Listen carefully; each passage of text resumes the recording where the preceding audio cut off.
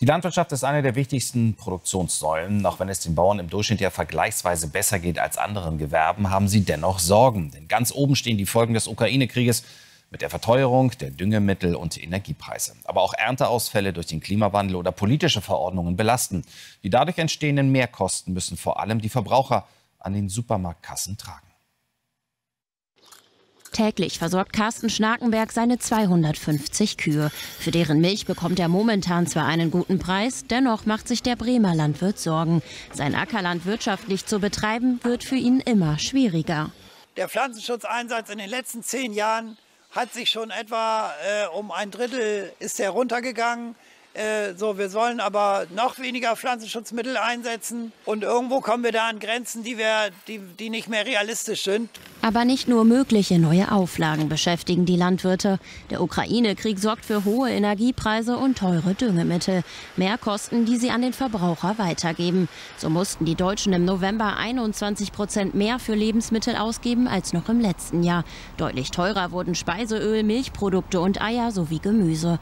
Die Konsumlaune entsprechend getrübt. Im Moment wird mit dem Geldbeutel entschieden. Wir haben starke Zuwächse im Preiseinstiegssegment. Das heißt, günstige Ware wird eingekauft. Äh, wir haben deutliche Rückgänge äh, bei Tierwohlware, bei äh, Bioware und das belastet uns. Die Verbraucherzentrale rät, lieber zum saisonalen Gemüse greifen, das ist günstiger. Gerne auch vom Wochenmarkt, wo es teils weniger kostet als im Supermarkt.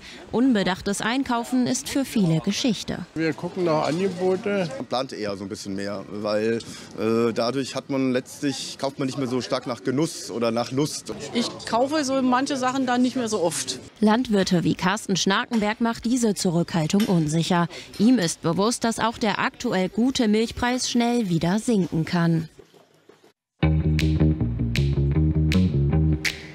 Unser Fernsehsender Welt versorgt Sie rund um die Uhr mit den aktuellen Nachrichten und Hintergrundberichten. Hier beleuchten wir die wichtigsten Themen des Tages und ordnen das Geschehen für Sie ein. Wie Sie uns im TV finden können? Ganz einfach. Indem Sie den Sendersuchlauf an Ihrem Fernseher starten, eine Anleitung finden Sie hier oben verlinkt. Zusammen mit einer Erklärung, wie Sie uns dann über Kabel, Satellit, Streaming, IPTV empfangen können. Hallo und ganz herzlich willkommen hier bei Welt.